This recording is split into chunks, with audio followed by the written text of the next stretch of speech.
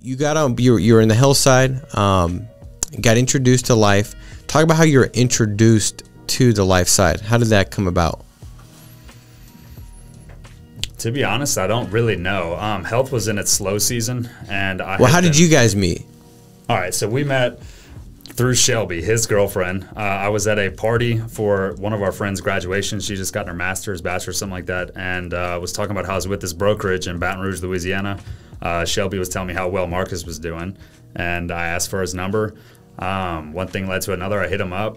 He talked to me about my compensation rate, and uh, he was like, "Dude, I feel bad for you." So- Yeah, I, I did. I'm like, man, I- I'm glad I got in the industry when I did and with the right company.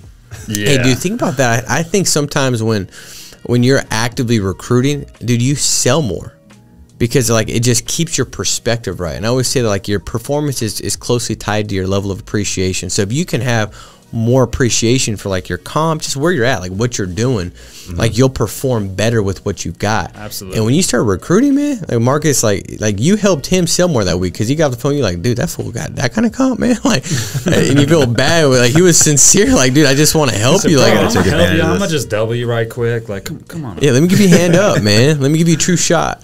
Um, so so you guys got connected that way. Mm-hmm. Talked about comp. You're intrigued because you're like a lot more money to go out there and service some clients. my comp, and I'm like, I'm there. Like, what's the catch? Like, what's what's going on? And I just didn't know any better. That's all it was. I was captive, low comp. Um, they told me they would feed me like warm leads, and that's why I was taking the captive Sure. position. I was calling a government cold call list, getting in the door with Medicare. Were you paying for leads?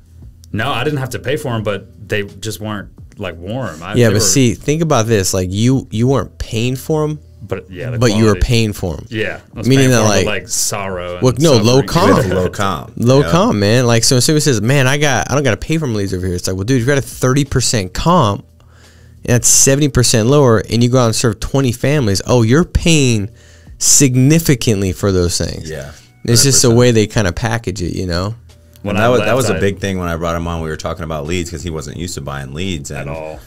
He's like, man, I gotta, you know, I gotta spend five hundred dollars on leads. I don't know if I want to do that. And I called him like three days in a row. Like, dude, I don't know if I can drop that 500, bro. Because my last Right. company, I was I was non-captive. I was 1099 independent, but they were feeding me live transfers. The health company. Sure. So, and it was an easier product to to sell to market. Too. I mean, it was Medicare, so usually they weren't paying anything over, just changing plans. But my compensation reflected that. Right. Yeah. Wait, how did you get your mind right on the whole investing in leads? Like, what kind of finally like the perspective that shifts? Like, all right, man, I'm good with that. I think I saw so much in the training videos how they were just like that is the lifeblood. Like you need to do it. Do what you got to do to get 500 bucks to invest in leads. Do what you got to do to keep and don't ever decrease the amount you spend on leads. And it makes sense, but it was just I kind of had to just take a leap of faith and be like, all right, literally put 500 on my girlfriend's credit card and then on my birthday and then bro that week Hey, you guys both got good helped. girls, man. Your girl Marcus is your best recruiter because she, She found is. Tristan. She is. Tristan's girl supplied him with Paying the for bi- yeah, yeah, helped him start his business. You guys got good ones, man. Yeah. believed in. It was yeah. That's awesome, man.